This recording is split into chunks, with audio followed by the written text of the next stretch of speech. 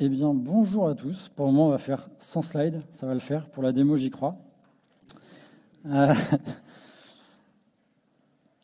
alors, je ne sais pas si euh, d'entre vous, il y a des contributeurs ou des contributrices open source. Euh, mais moi, avant de m'y mettre, en fait, pour moi, l'open source, c'était un monde qui était vraiment sympa, fun, et qui était très simple à intégrer. Alors, pour l'aspect sympa et fun, globalement, ça se passe plutôt pas mal, on va dire. pour la partie simple, je ne sais pas pour vous, mais moi, j'ai quand même bien galéré pour intégrer euh, justement certains projets et commencer avec l'open source. Dans ce talk, je vais vous parler un peu de cette histoire-là et vous montrer en fait comment l'outil Gitpod, je ne sais pas si certains connaissent, a permis de m'aider. Ah yes. On peut voir cette belle image générée par mid-journée. Alors avant de commencer, on va parler d'une petite définition open source et je l'aime bien, c'est pour ça que j'ai fait exprès de prendre Wikipédia. Euh, l'open source s'applique au logiciel et s'étend maintenant aux œuvres de l'esprit, très important, euh, et, ça c'est récent comme modification, dont la licence respecte des critères précisément établis par l'open source initiative, c'est-à-dire les possibilités de libre redistribution, d'accès au code source et la création de travaux dérivés. Donc ça c'est la partie licence, c'est important. J'en parle pas dans ce talk-là, mais c'est quelque chose qu'il faut quand même connaître. Et du coup, on voit que c'est mis à disposition du grand public. Ce code source est généralement le résultat d'une collaboration entre programmeurs. Je me suis permis de rajouter entre programmeuses. Et moi, en fait, c'est ce mot qui me dérange. À la base, j'ai cherché l'open source, une définition de l'open source, et on voit que c'est généralement appliqué aux programmeurs. Je ne suis pas d'accord, clairement. Euh, par contre, ils se défendent en mettant le mot code source juste avant. Alors après, c'est pareil, qu'est-ce que du code source? Est-ce que c'est que du code comme on peut connaître en tant que Java, un fichier TypeScript, du Node, ou de manière générale un projet open source? Ça se défend. En tout cas, quand je parle d'open source, généralement, le message que je veux euh, donner aux personnes avec qui euh, j'échange, c'est vraiment dire que tout le monde peut contribuer. C'est vraiment quelque chose que, j'y tiens. Euh, je m'en rappelle, quelqu'un de, Zenica, une RH, m'avait dit, même moi, j'ai contribué, ça m'a vraiment marré. Et c'est un exemple que je garde toujours. Et je ne sais pas si cette phrase, ce slogan, vous, vous fait penser à une entreprise. Il faut mettre en anglais Everyone can contribute. C'est GitLab qui dit ça plateforme open source qui, du coup, avait ce slogan depuis euh, tellement d'années. Ils l'ont changé que depuis un an ou deux, il me semble. Mais en fait, la contribution dans GitLab, on le voit partout. Et on voit leur slogan qui apparaît quand même ici. J'ai réussi à le retrouver. Et du coup, il y a une petite subtilité derrière où on dit qu'en fait, on n'est pas obligé de contribuer, mais vraiment que tout le monde peut contribuer. Ça, c'est des valeurs qui sont quand même très importantes. Et en fait, moi, dans l'open source, j'ai commencé à contribuer par GitLab. Alors, vous allez dire que ce n'est pas un petit projet. En fait, j'ai travaillé sur un pan un peu annexe qui, concerne la traduction. Effectivement, la traduction, c'est quelque chose qui est quand même très important euh, dans l'open source et qui nécessite beaucoup de gens. Et pour être traducteur, pas besoin d'être dev, pas besoin d'être technique pour faire ça. En plus, dans GitLab, la traduction en passe par un outil qui s'appelle Crowding. C'est vraiment un outil à part. Euh, on voit rapidement que, bah, en se connectant à son compte GitLab, GitHub, je crois Gmail aussi, on peut accéder à une interface qui permet de choisir le glossaire et en fait l'ensemble euh, des, phrases à traduire. Sur la partie gauche, on voit les mots à traduire et au milieu, on voit la traduction qui est mise par différentes personnes. Et ce qui est important, c'est qu'il y, a quand même une partie d'échange que j'ai pas mis parce que ça ne valait pas le coup. Mais on peut vraiment échanger et dire bah, je suis pas d'accord avec la traduction que quelqu'un a mis et, faire des échanges. Et moi, ces échanges, dans la partie sympa que je cite dans l'intro, ben, en fait, j'ai retrouvé là. Et du coup, au quotidien, tous les jours, je m'amusais à faire un cadre de traduction, buvant mon café, et du coup à essayer de, bah, justement, on partait de zéro euh, au niveau de traduction en France. Du coup, on arrive maintenant, je crois, à du 100%. Alors, je ne suis pas tout seul, hein, loin, loin, très loin de là. Mais du coup, voilà, je faisais mon petit quart d'heure de, traduction. Et un jour, j'ai voulu, euh, j'ai voulu travailler un peu sur, sur du front. Et je me suis dit, tiens, il y, a une librairie qui, qui a l'air sympa, c'est Storybook. C'est une bibliothèque de composants. Alors moi, je suis côté bac de base. Du coup, j'étais content de pouvoir tester mes composants front indépendamment et sans avoir à déployer l'application et à cliquer un peu partout. Et il y avait un projet qui avant était un peu à côté de Storybook, qui s'appelle Learn with Storybook, qui recherchait des traducteurs. en fait, je me suis dit, bah, pourquoi pas faire pareil Je faisais sur GitLab. Sauf que là, il fallait vraiment prendre le projet. C'est un projet Node, donc ça va, je me suis sorti quand même. Et j'ai réussi à installer le projet et à faire ma traduction. J'étais content. Et en plus, dans les PR GitHub, on trouvait beaucoup d'échanges. Du coup, j'ai rencontré des gens euh, euh, suite à ces échanges. Donc c'est vraiment quelque chose qui est totalement bénéfique. Et je me suis dit, bah, entre guillemets, je suis chaud là, je vais faire des contributions et je vais essayer de contribuer du coup à GitLab, mais vraiment dans le code. Euh, je fais partie du programme euh, collaboratif de GitLab, des GitLab Heroes, et je me suis dit, bah, j'en connais quand même pas mal, je suis sûr, je vais retrouver quelqu'un qui va pouvoir m'aider. Et il m'a dit, bah, écoute, il n'y a pas de souci, essaye d'installer tous les outils et tu me redis. Et c'est là en fait où l'importance de la documentation, petite parenthèse, est très importante dans l'open source. Et en fait, c'est très simple à documenter un projet. C'est fait en Markdown, fichier .md, vous devez, vous devez les connaître, ces fichiers-là. Et en fait, c'est très simple. On met des dièses pour faire des titres, etc. Donc tout le monde peut contribuer à la documentation. C'est aussi ça le message que je veux en, remettant euh, ce petit cours de Markdown en accéléré. Et du coup, dans l'open source, on a généralement trois fichiers, mais le fichier principal, c'est le readme.md. C'est vraiment le fichier qui apparaît quand on, arrive sur un repo GitHub, GitLab ou d'autres, euh, s'il y en a d'autres. Et à partir de là, on va trouver des informations un peu diverses, ce que fait le projet, comment construire le projet, comment est développé, peut-être des petites vidéos, ce qui est quand même assez sympa, des images aussi, enfin quelque chose qui va vraiment rendre le projet attrayant. Et à partir de là, on va retrouver des liens vers d'autres projets, notamment le Code of Conduct, qui est quand même quelque chose de très important, ce qui permet de détailler les règles de bonne conduite. Sinon, au revoir, et du coup, le côté sympa et fun du départ, on le retrouve. Sous-entend, les gens pas sympas ne sont pas dans les projets open source. Et un autre fichier important, c'est contributing.md, qui lui, en fait, va expliquer comment on contribue à un projet, comment on crée une issue, comment on crée une, pull request ou une merge request, et aussi quelle est la, description et le, template de description qu'on va utiliser pour que tout le projet soit harmonisé et en fait que les, mainteneurs du projet ne galèrent pas en fait à dire ah bah lui il a expliqué mais il n'y a pas de screenshot et du coup je comprends pas le problème etc. Donc ce sont de la documentation qui est vraiment très importante dans un projet et du coup côté GitLab il y en a plein. De la doc dans GitLab il y en a vraiment énormément et du coup j'ai trouvé le contributing.md. Chouette. Donc là, j'ai fait une petite capture, mais il est très, très, très, très, très grand. Il fait même des liens vers plein de pages. Et au bout d'un moment, j'arrive sur ce projet, le GitLab Development Kit, le GDK, qui en fait est un outil qui permet de simplifier l'installation de tous les outils qui permettent de contribuer à GitLab. Alors du coup, j'étais content. Euh, vraiment, j'étais content d'avoir trouvé un outil qui permet de faire ça, parce qu'avant, il fallait installer du Ruby, je ne connaissais pas, du Vue, bon ça, ça va, toutes les bases de données, donc il y a plusieurs typologies, ça faisait quand même un peu beaucoup. Et en fait, pendant cette installation, je suis passé par plein d'états. Alors ils ne sont pas forcément dans l'ordre des, petits œufs que j'ai trouvé ça marrant, mais en gros, euh, le GDK, même si ça permet de simplifier la vie, eh ben, c'était quand même une grosse galère pour moi. Je me rappelle, j'avais mis un laps de temps de deux mois avant d'essayer de, de, m'y remettre. Ça ne marchait pas. Je m'y remettais. Alors la faute, c'est ma faute. Je ne connaissais pas tous les outils, euh, mais j'ai quand même galéré et j'ai toujours pas réussi euh, à l'époque. J'ai abandonné cette partie-là, en tout cas. Et notre expérience, dans, dans, le projet Quarkus, un projet euh, Java. J'ai eu la chance d'être euh, aidé par deux contributeurs euh, de Zenica. Donc, il y en a un qui est parti, mais, ils mettent toujours de temps en temps. Et là, le projet, en fait, il est assez volumineux. C'est un ensemble de modules Java. Du coup, quand on veut faire une contribution, il faut rebuilder le projet. Et en fait, il y a tellement de modules que là, mon ordi, c'est celui-là, il est encore vivant, mais il a quand même assez souffert. Alors, ce n'est pas des critiques quand je dis ça, c'est vraiment que le projet est tellement costaud que du coup, ça build, ça build, et puis ça build un projet, puis le deuxième, le troisième, et je ne sais pas combien il y en a, mais il y en a tellement que là, mon ordi est un peu en souffrance quand même. S'en est bien remis, mais ça a été compliqué. Et depuis 2016, en fait, il y a les CDE qui sont arrivés, donc les clouds développement, les environnement qui sont apparus. Donc il y en a plein. Je ne vais pas en citer. Je pense que vous avez compris que j'allais parler de Gitpod. Euh, mais le CDE, c'est quoi le principe? En fait, c'est d'avoir. Euh, actuellement, on a bah, nos IDE, donc VS Code et IntelliJ notamment, enfin me concernant, sur mon ordi. Et à partir de là, je travaille sur mon ordi. Chouette. Le CDE, donc la première lettre, c'est le cloud. En fait, on veut envoyer le maximum dans le cloud. du coup, en fait, pour pouvoir, et surtout n'avoir que à se connecter à cet infra cloud à partir de notre navigateur. Il y a une autre technique qui, qui, qui du coup existe aussi, c'est la connexion SSH. En fait, l'objectif, c'est de ramener simplement les outils sur notre poste, mais par contre, tout le workspace, en fait, se trouve sur le cloud. Comme ça, en fait, c'est là où on peut récupérer bah, tous nos raccourcis, tous les habitudes, les plugins qu'on peut avoir besoin sur nos IDE. Ça, c'est quand même quelque chose qui est, assez euh, intéressant. Et du coup, je vais vous faire une petite démo de Gitpod en quelques minutes. Alors, pourquoi Gitpod?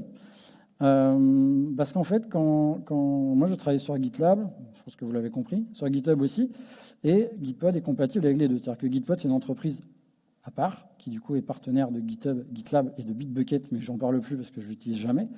Et du coup, avec une extension sous Chrome, en fait, on peut voir un bouton qui apparaît ici. Je vais zoomer un peu. Ici en noir, mais c'est pas grave, je vais passer sur autre chose.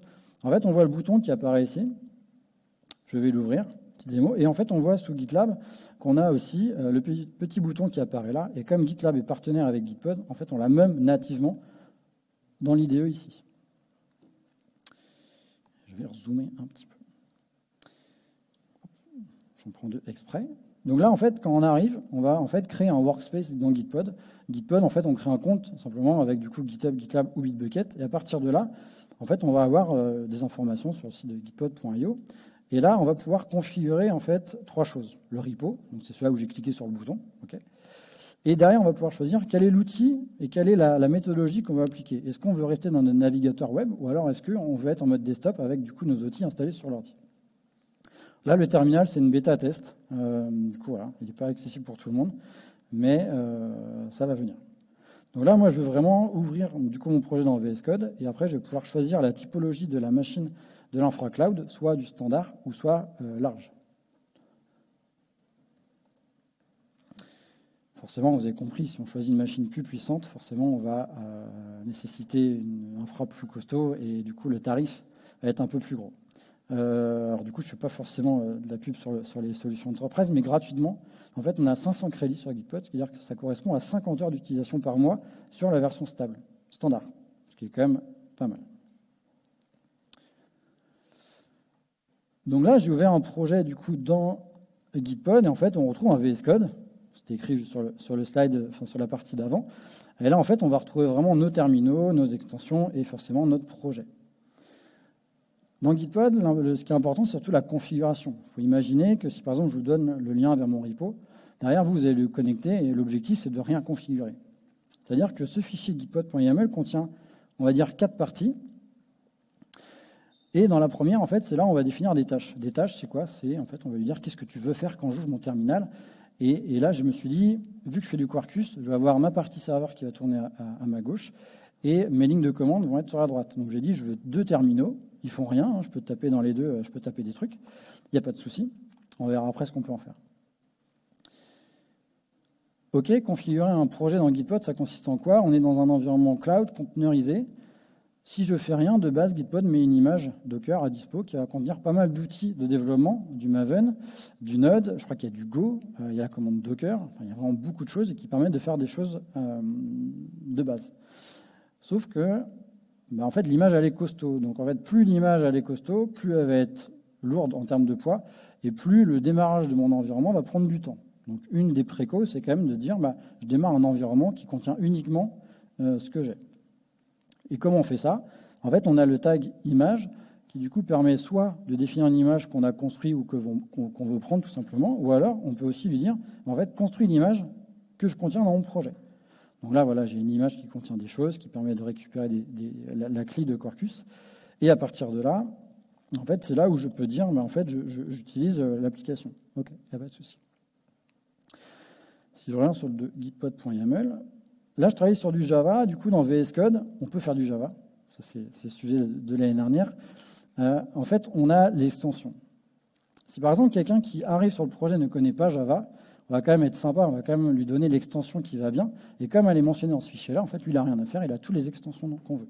Donc s'il y a des adeptes de Gitmoji, on peut aussi mettre l'extension Gitmoji. Enfin bref, vous voyez que toutes les extensions que vous avez sur votre poste dans VS Code, vous pouvez les mettre à disposition de toute l'équipe qui va travailler sur votre projet. Je ne sais pas pour vous, mais moi, quand je fais un projet euh, Java, euh, qui est dans Maven, euh, généralement, ce qu'on fait, c'est qu'en fait, on veut démarrer l'application. Sinon, ce serait quand même pas. Je un peu, un peu feignant. Et ces commandes, en fait, je, veux qu'elles soient effectuées tout le temps. Donc le Quarkus Dev a lancé le framework, l'API. Avant, c'est-à-dire il y a deux mois, comment on faisait En fait, je committais ce fichier, je clôturais mon workspace, j'en crée un nouveau, donc je perdais un peu de temps. Maintenant, Gitpod, il met à disposition une CLI avec la ligne de commande GP.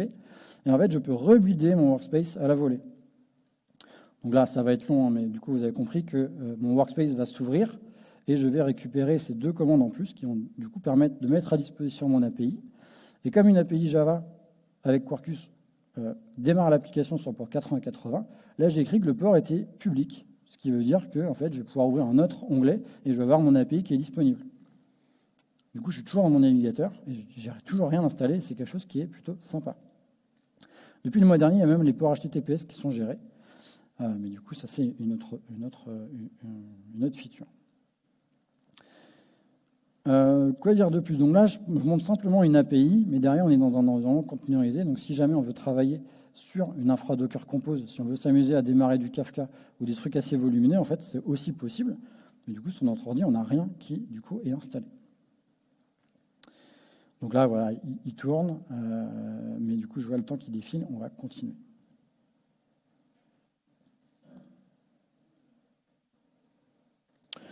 Du coup, dans l'open source, euh, quel est le lien avec GitPod? Ben, en fait, ça va être un énorme allié pourquoi?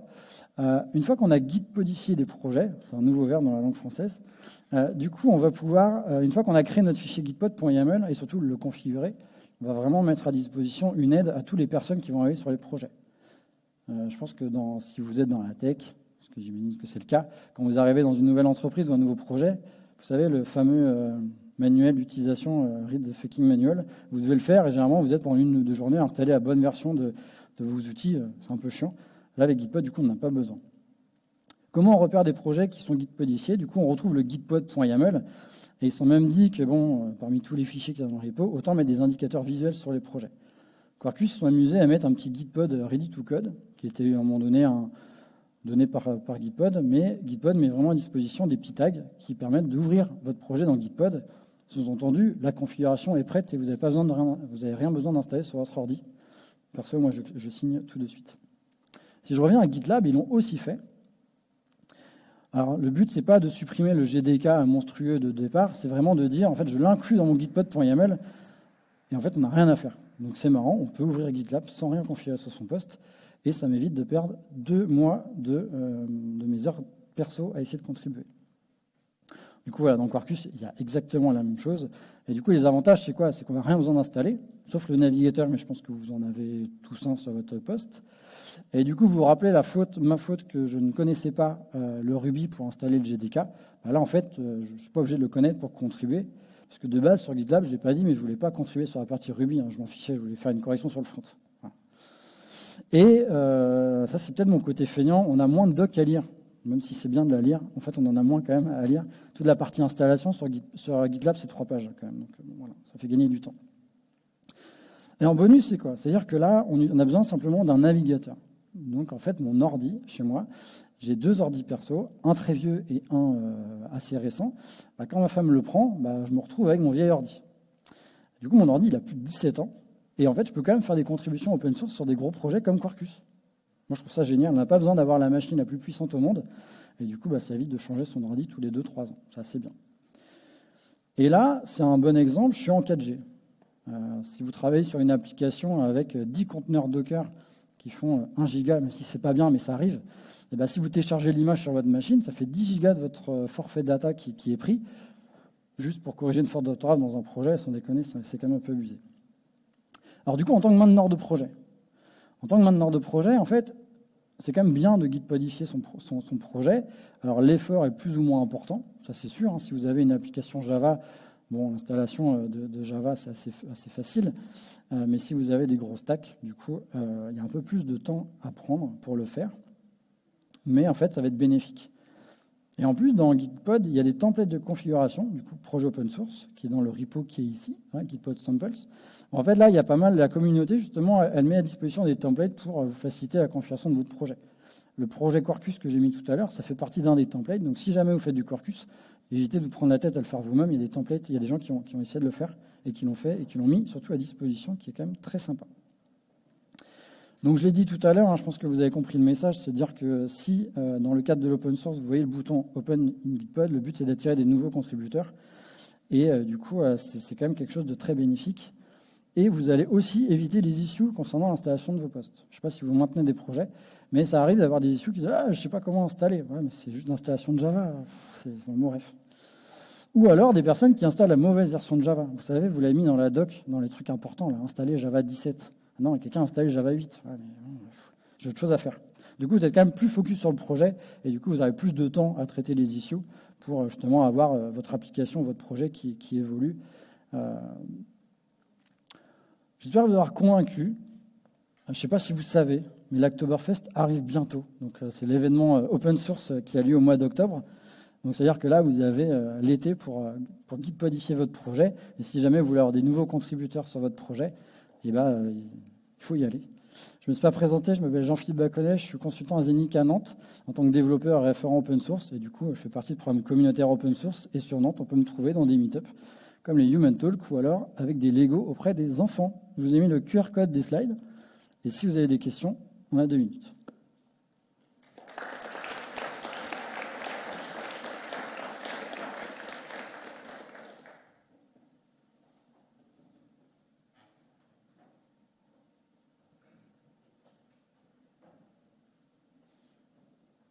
Merci pour ta, pour ta, pour ta présentation, c'était super intéressant. Euh, est-ce que tu verrais euh, encore des freins à, à pousser euh, Gitpod pour développer un soft dans une entreprise ou pour toi c'est déjà ready? Pour les entreprises, non, c'est faisable aussi. souvent avec les infrastructures microservices, on se retrouve avec des composants qui ont plein de, de configurations différentes. Si tu travailles sur deux composants, parle côté Java qui sont sur des versions de Java différentes, souvent tu te marches les pieds, enfin moi c'est souvent le cas. Alors que du coup, là, en entreprise, si tu permets d'avoir ton environnement qui est isolé, c'est quand même plutôt sympa. Quoi. Donc, euh, les entreprises pourraient aller dessus. Euh, Là-dessus, ce serait vraiment top. Avant, on pouvait installer soi-même Gitpod. Ils ont changé de politique. Maintenant, l'installation, c'est Gitpod Dedicated, qui du coup se situe sur des serveurs Amazon. Certains n'aiment pas, certains aiment bien, mais c'est une option qui est totalement euh, possible. J'en profite, une deuxième question. Est-ce que, est que, tu vois une différence de réactivité entre un IDE en local et un IDE euh, sur un navigateur ou c'est vraiment. Euh, on ne verrait pas la différence si on ne sait pas? Je ne peux, peux, pas dire que c'est la même chose. Euh, sur Mac, POM-W ferme un fichier dans, dans IntelliJ. Dans un navigateur, ça ne fait pas la même chose. Du coup, c'est un, un, concept en fait à prendre en main. Et, mais du coup, je fais vraiment du dev Java sur, dans VS Code dans mon navigateur. Et c'est vraiment, ça marche vraiment bien, du coup, grâce aux, extensions. Mais euh, ça se fait euh, totalement. Merci. Bonjour, merci pour la présentation. Euh, là, dans l'exemple, tu as utilisé VS Code, mais avec IntelliJ, par exemple, il, il ouvre l'IntelliJ que tu as en local sur ton poste et il vient se plugger sur le repo distant, j'imagine? Ouais, avec, il se connecte en SSH, du coup. D'accord. Au début de Gitpod, il y a eu une volonté de mettre IntelliJ dans le navigateur. Il n'y a plus maintenant, vous comprenez, je pense pourquoi. Euh, c'était assez long à démarrer euh, et c'était pas terrible en termes d'utilisateurs. Mais euh, du coup, maintenant, c'est pour ça qu'ils ont pris l'option de, le mettre en local. Et même IntelliJ a sorti Gateway, je crois, où en fait, toute l'application locale et à partir de là, tu peux choisir plusieurs CDE, dont Gitpod où vraiment l'objectif c'est d'avoir tes raccourcis IntelliJ, ce qui est quand même assez pratique, mais une connexion à distance.